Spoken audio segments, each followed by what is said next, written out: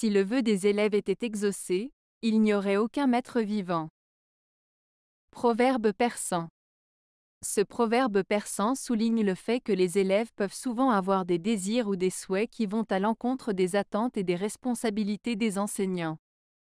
Si les désirs des élèves étaient satisfaits, les maîtres pourraient être considérés comme inutiles ou inexistants. En bref, ce proverbe met en évidence le rôle important des enseignants dans la formation des étudiants et dans leur vie.